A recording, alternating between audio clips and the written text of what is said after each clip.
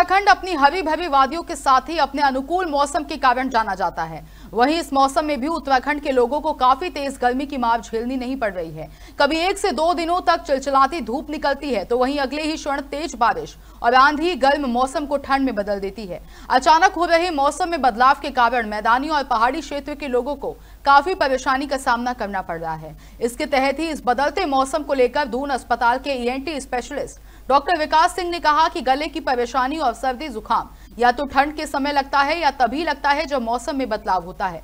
वहीं इस मौसम में लोगों को गर्म पानी पीते रहना चाहिए साथ ही बहुत भीड़ भाड़ वाले इलाकों में जाने से बचना चाहिए। देहरादून से ब्यूरो चीफ अवनीश गुप्ता की रिपोर्ट। एक्चुअली हम्म, जैसे आपने बोला कि जब मौसम चेंज हो रहा है तो उस तरह के सर्दी के जो आपके सिम्टम्स आ रहे हैं जैसे खांसी होना जुकाम होना तो मेनली जब गर्मी आ रही है और सर्दी सिम्टम्स आ रहे हैं खांसी जुकाम होना तो ये मेनली वायरल इन्फेक्शन की वजह से होता है।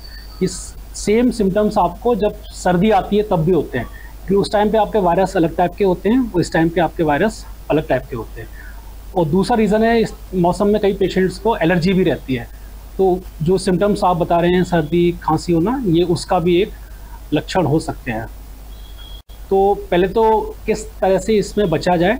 जैसे इन्फेक्शन रोकने के लिए अपने हाथ फ्रिक्वेंटली आप धोएँ, बहुत भीड़ भाड़ इलाके में ना जाएँ और किसी को यदि सर्दी जुकाम है तो उसके पास जाने से बचें, मास्क लगा के रखें और यदि आपको ये सर्दी जुकाम हो जाता है तो उस टाइम पे ध्यान रखें, अपना हाइड्रेशन अच्छा मेंटेन रखें लाइक पानी वगैरह खूब पिए और थोड़ा गुनगुना पानी पिए एकदम ठंडा पानी नहीं पिए और एडुकेट रेस्ट करें क्योंकि जब पेशेंट रेस्ट नहीं करता है, लगातार काम करता रहता है तो एग्जॉस्ट हो जाता है। उस टाइम पे आपकी इम्यूनिटी कम हो जाती है तो वायरल इन्फेक्शन और होने के चांस रहते हैं। तो इन सब बातों का ध्यान दें तो इस तरह से आप इन चीज़ों से बच सकते हैं।